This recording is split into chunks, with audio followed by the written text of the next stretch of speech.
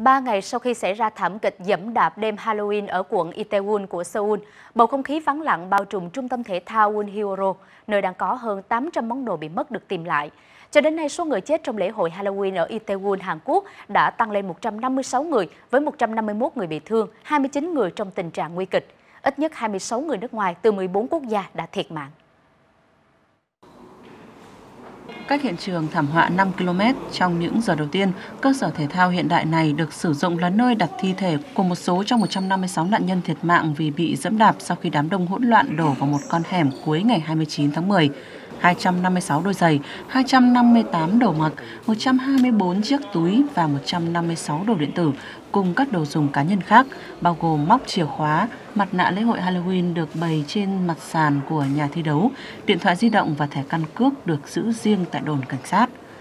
Hàn Quốc hiện đang trong thời gian quốc tang kéo dài một tuần, hàng dài người xếp hàng chờ đến lượt để bày tỏ lòng thành kính với các nạn nhân đã mất trong vụ dẫm đạp.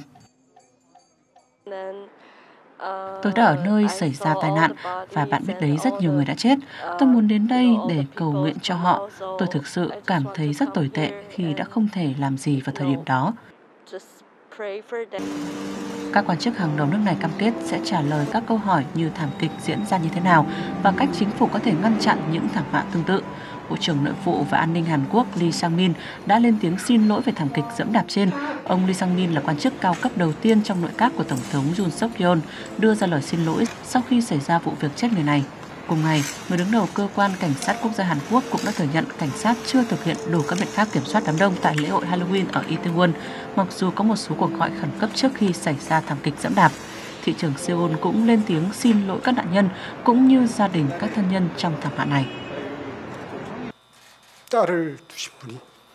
Với tư cách là thị trưởng Seoul, người chịu trách nhiệm về tính mạng và sự an toàn của công dân, tôi cảm thấy có trách nhiệm vô hạn về vụ tai nạn và bày tỏ lời xin lỗi sâu sắc nhất. Chính quyền thành phố Seoul sẽ cố gắng hết sức để huy động mọi quyền lực hành chính cho đến khi mọi thủ tục tang lễ được hoàn tất và những người bị thương và tất cả những người dân cảm thấy đau buồn vì tai nạn này có thể trở lại cuộc sống thường ngày. Hiện cảnh sát Seoul đang đối mặt với nhiều chỉ trích vì chỉ triển khai 137 cảnh sát để đảm bảo an ninh trật tự tại Itaewon tối 29 tháng 10, trong khi có khoảng 100.000 người đổ về khu phố này tham gia lễ hội Halloween. Trước đó, lực lượng cảnh sát cho biết các biện pháp an ninh chủ yếu tập trung vào việc ngăn chặn tội phạm và không có hướng dẫn cho những tình huống tụ tập đông người mà không có người tổ chức rõ ràng như lễ hội Halloween ở Itaewon. Tờ báo Hankyoreh viết trong bài xã luận hôm nay rằng thảm họa Itaewon có thể dự đoán được xuất phát từ việc thiếu sổ hướng dẫn quản lý an toàn trong trường hợp xảy ra tai nạn đám đông dẫm đạp. Chỉ hai ngày trước lễ hội Halloween, giới chức quận Jongsan, nơi có phố Itaewon đã công bố những biện pháp đảm bảo an toàn cho sự kiện, gồm quy định phòng chống COVID-19, vệ sinh đường phố, kiểm tra an toàn vệ sinh thực phẩm ở các nhà hàng và những biện pháp ngăn người dự lễ hội sử dụng ma túy. Tuy nhiên, họ không có bất kỳ phương án nào để kiểm soát đám đông. Trước nguy cơ hành lang ngũ cốc biển đen bị Nga phong tỏa, Liên Hợp Quốc và các bên liên quan đang gấp rút tìm giải pháp để khôi phục thỏa thuận. Bộ trưởng cơ sở hạ tầng Ukraine cho biết ít nhất 12 tàu chở ngũ cốc đã rời các cảng của Ukraine và đã có hơn 354.000 tấn ngũ cốc rời cảng trong ngày. Các trang web theo dõi hàng hải cũng cho thấy một số tàu chở hàng rời cảng Odessa và hướng về phía Tây. Giới chức Ukraine thông báo các phái đoàn của Liên Hợp Quốc và Thổ Nhĩ Kỳ đã cử 10 đội tuần tra để giám sát 40 tàu rời cảng. Phía Nga đã được thông báo về kế hoạch nhưng cảnh báo việc tiếp tục vận chuyển ngũ cốc mà không có sự chấp thuận của Nga sẽ rủi ro. Đáp trả cáo buộc của Mỹ và Ukraine rằng Nga dùng lương thực làm vũ khí, Tổng thống Nga đã giải thích rằng Ukraine đã sử dụng hành lang cho vụ tấn công vào hạm đội Biển Đen của Nga trên bán đảo Crimea và do vậy không thể đảm bảo an an toàn cho các con tàu theo thỏa thuận. Trước nguy cơ thỏa thuận chết yểu chỉ sau 3 tháng thực thi, Liên Hợp Quốc, Thổ Nhĩ Kỳ và Ukraine đang cố gắng cứu vãn nó. Tổng thư ký Liên Hợp Quốc đã hoãn chuyến công tác nước ngoài để tìm cách khôi phục thỏa thuận. Thổ Nhĩ Kỳ vốn là một bên tham gia dàn xếp thỏa thuận cũng đang liên lạc giữa Moscow và Kiev. Khi chúng tôi nói chuyện tại đây, chúng tôi đã liên hệ với các bên để đảm bảo việc tiếp tục của sáng kiến này. Thổ Nhĩ Kỳ hy vọng lý do đó sẽ chiếm ưu thế và sáng kiến ngũ cốc Biển Đen vẫn sẽ còn nguyên vẹn và hiệu lực. Chúng tôi cũng sẽ tiếp tục ủng hộ mọi nỗ lực nhằm chấm dứt xung đột tại Ukraine. Liên Hợp Quốc cho biết tất cả các bên còn lại trong thỏa thuận sẽ phối hợp trong quyền hạn cho phép để đảm bảo an toàn cho các tàu thương mại qua tuyến đã định. Sáng kiến của cốc biển đen ràng buộc các bên ký kết không được tấn công tàu hoặc các hoạt động di chuyển hay các cơ sở cảng biển liên quan. Chúng tôi tin tưởng mạnh mẽ rằng điều khoản đó vẫn còn hiệu lực, kể cả đối với Nga. Tôi tin rằng sáng kiến ngũ cốc biển đen sẽ được gia hạn và chúng tôi sẽ đảm bảo điều đó. Chúng tôi sẽ làm mọi thứ để đạt được điều đó vào ngày 18 tháng 10. Chúng tôi hy vọng sau cuộc thảo luận của Hội đồng Bảo an Liên Hợp Quốc, chúng ta có thể xuất khẩu số ngũ cốc đó và đạt tới 10 triệu tấn ngũ cốc được xuất khẩu trước khi chúng ta có thể gia hạn thành công. Phái đoàn Nga tại Trung tâm Điều phối chung việc thực hiện thỏa thuận ngũ cốc trên Biển Đen cho biết sẽ tiếp tục đối thoại với Liên Hợp Quốc và Thổ Nhĩ Kỳ về các vấn đề liên quan. Bộ trưởng Nông nghiệp Pháp nêu sáng kiến theo hướng cho phép Ukraine xuất khẩu lương thực qua các tuyến đồng bộ thay vì tuyến Biển Đen, cụ thể là thông qua Ba Lan hoặc Romania. Việc giải cứu hành lang nhân đạo vận chuyển ngũ cốc không chỉ khai thông việc xuất khẩu ngũ cốc cho Ukraine mà còn giúp ngăn chặn nguy cơ đứt gãy chuỗi cung ứng lương thực toàn cầu. Thưa quý vị, Oslo, thành phố cổ nhất ở bán đảo Scandinavia và là thủ đô đông dân nhất của Na Uy, đang thực hiện một cuộc cách mạng xanh. Nơi đây sẽ trở thành thủ đô đầu tiên trên thế giới có hệ thống giao thông công cộng chạy hoàn toàn bằng điện, nhằm đến mục tiêu cuối năm 2030 trở thành thành phố hoàn toàn không phát thải khí CO2 đầu tiên trên thế giới.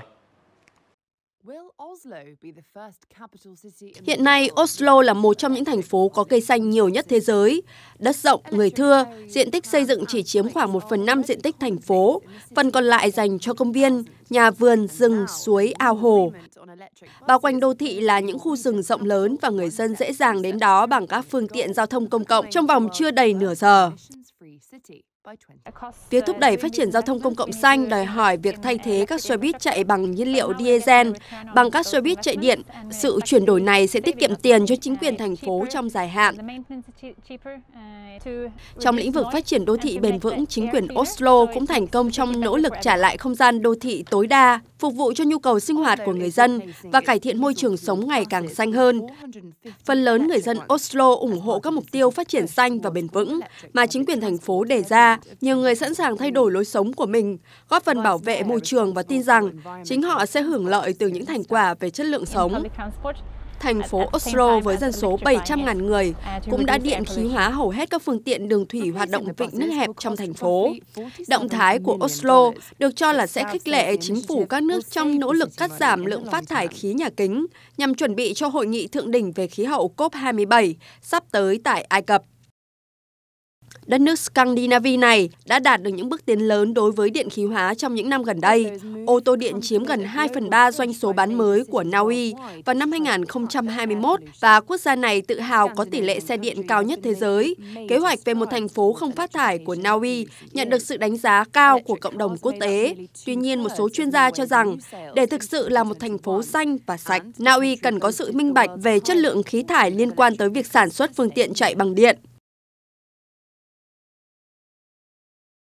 Thưa quý vị, nhân dịp Liên hoan phim quốc tế Tokyo lần thứ 35 vừa qua, Hiệp hội xúc tiến phát triển điện ảnh Việt Nam phối hợp cùng các bên liên quan tổ chức hội thảo Việt Nam điểm đến hấp dẫn của các nhà làm phim thế giới